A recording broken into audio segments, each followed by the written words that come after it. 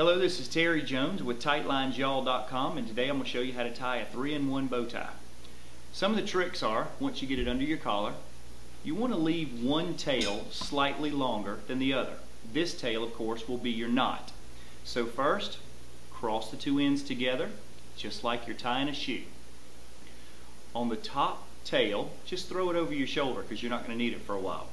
The next thing is we simply bend this over, making the first part of your bow, grab the one over your shoulder, and drop it straight down.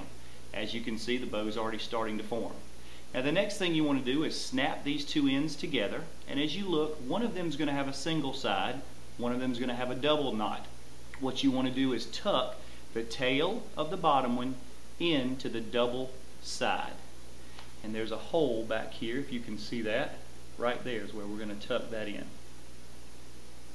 So we take this, push it right through that hole,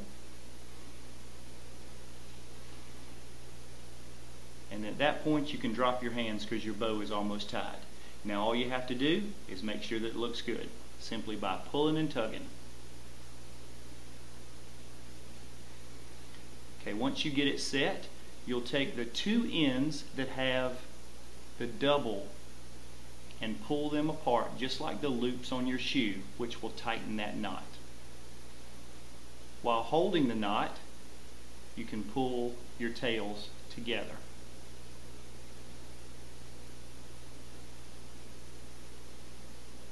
And that's how you tie a three-in-one bow tie.